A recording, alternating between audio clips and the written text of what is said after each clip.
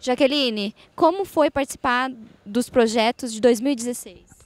Foi fundamental, porque é a, é a certeza que a gente está plantando e que a gente vai colher. É, foram tempos, foram horas de jejum, de oração, clamando, buscando, vindo, é, colocando empenho, força de vontade para estar tá aqui, mas a gente tem certeza que, que Deus, já, Deus já está respondendo e nós temos certeza que esse é o início de um ano glorioso e que é fundamental a gente depositar é, isso no Senhor. Qual é o recado que você deixa para essa pessoa que está nos assistindo agora? Uma pessoa, seja ela que está em casa, triste, cansada de tantos problemas, qual é o recado que você deixa para essa pessoa?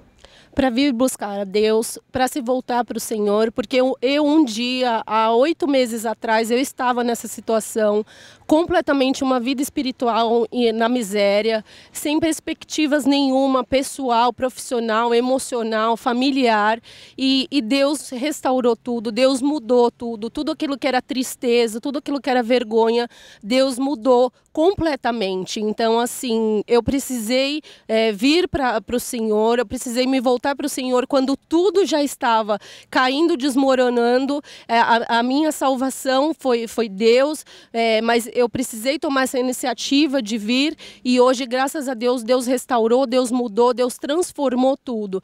Então, assim, é, tudo que, que, que a gente acredita que não tem solução, que é impossível ou que é comum porque a gente ouve ouve de todo mundo que é comum, família, filho doente, é, as dívidas insolucionáveis, é, é, cobrança no nosso telefone, briga no casamento. Graças a Deus, Deus mudou, Deus reverteu, Deus tratou a gente e eu não aceitei isso e eu vim buscar e vem você também, porque Deus faz, Deus é tremendo, é maravilhoso e que tudo em nome de Jesus seja restaurado.